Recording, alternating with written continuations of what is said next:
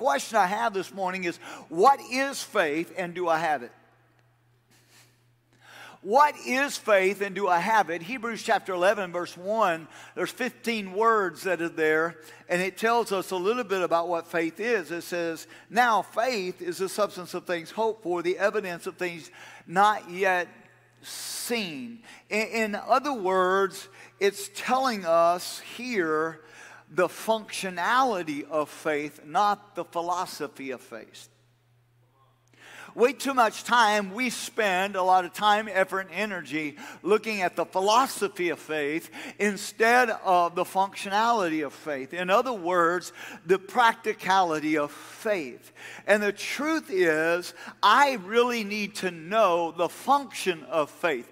If the just are going to live by faith, then I have to know how am I going to live by faith? Not theoretically, not hypothetically, but in a very practical way way, how do I live by faith?